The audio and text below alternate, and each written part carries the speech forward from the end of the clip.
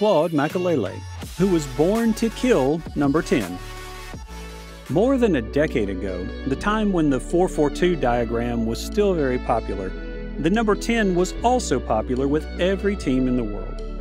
They were the conductors of the playing style and played a vital role on the team. But during that time, the football world produced more defending midfielders who specialized in defending and breaking the opponent's play. Claude Makelele was born to destroy the number 10 and was an outstanding figure in the defending midfielder role. He is a steel shield, ready to kill every best number 10 in football. Makelele was born on February 18, 1973, in Kinshasa, Zaire, the Democratic Republic of Congo. In the local language, Makelele means noisy, but actually, on the pitch, he is a silent contributor to the success of every club he's played for. His family moved to Paris when Makelele was only three years old, and he started playing professional football for Nantes in 1991 when he was 18 years old. He shone and helped the home team win the French national championship in 1995 and reach the semifinals of the Champions League the following season. Then Makelele moved to Marseille, where he played a season for the club. And next, he joined Celta Vigo, where he spent two successful seasons there. In 2001, Makelele became a member of Real Madrid, which was a turning point in his career. Makelele may be considered to play at the same time as Didier Deschamps or Patrick Vieira, two other amazing French midfielders, but Makelele progressed more slowly. His early years were very modest, and it took him about nine years to get a solid position at Nantes, Marseille, and Celta Vigo before arriving at the world's most prestigious club, Real Madrid. At the Bernabeu Stadium, Makelele continued to play successfully. He won two Spanish national championships, one Champions League, and one European Super Cup. In Galacticos 1.0, Makelele acted as a scanner plowing the area in the middle of the field. Like a rock, he played hard, clinging to the opposing team and breaking to the ball. He always played as if this was the last match he would ever play, and that is why Makelele became a scourge for the top attacking players in the world. In the Real Madrid shirt, he was the engine and the guardian for Real Madrid's expensive attack superstars such as Zidane, Figo, Raul, and Morientes. Then, when he left, there was no one left there to cover for them. Makelele was the eternal engine, the final stop of the midfield.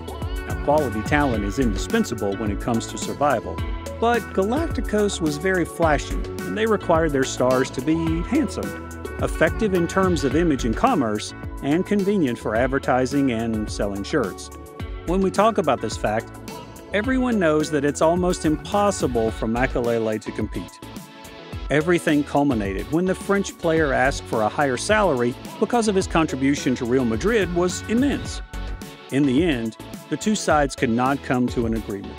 The flashy appearance of the club pushed the duo of Del Bosque and Makelele out of the Bernabeu and their departure indirectly caused Galacticos 1.0 to officially perish. Makelele decided to move to Chelsea after three seasons at Real Madrid. In England, the president Roman Abramovich never paid much attention to their appearance. The club knew what Makelele could do for them, and the 16.6 million pound transfer was completed on the last day of the transfer market in the summer of 2003. He opened a period of pride for Chelsea. That day, Makelele was too important. He was very successful under Jose Mourinho's time later, and the fans at Stamford Bridge are still missing him to this day. At that time, Makelele was 30 years old, but the player that stood only 1 meter 7 tall was an important factor on the path to building the mighty Chelsea empire later. From 2005 to 2007, they continued to dominate the Premier League with two Divine Championships and only 22 goals conceded in one season. It was Makelele's top season when he paired with Michael Essien and Frank Lampard in Mourinho's diagram.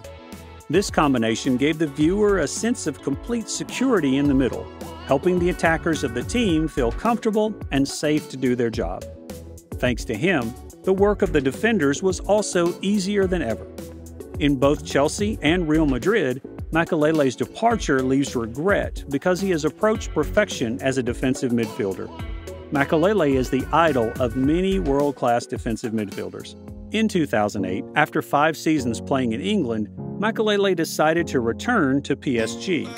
His experience was what the Paris team needed to help them return to their peak.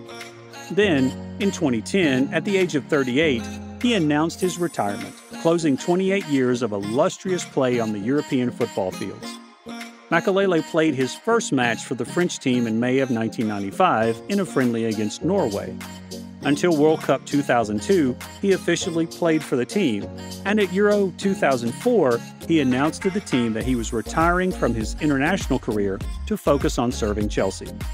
At World Cup 2006, the frailness of the French midfield led Makelele to return with Zidane and Thuram.